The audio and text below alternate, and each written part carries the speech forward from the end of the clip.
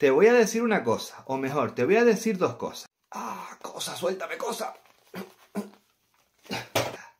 La serie de Merlina es una serie feminista totalmente.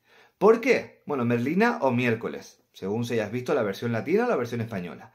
¿Por qué? Porque Merlina miércoles rompe totalmente con lo establecido. No es la típica niña rosa, la típica chica delicada, suave, sino rompe con eso y se convierte en un personaje que es totalmente opuesto a lo que solemos ver. Entonces, ese contraste, esa lucha por no ser la típica historia, la típica chica, la típica niña, pre bueno, adolescente más bien, la convierte pues en una figura muy muy muy representativa para luchar con todo ese rol social que tienen las mujeres, sobre todo más en el cine, series, etcétera, vamos, en todo este mundo audiovisual.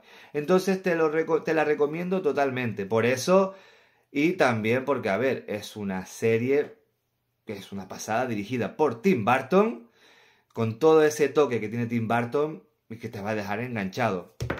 Épale, he perdido una cosa, pero bueno, tengo otra a por la segunda.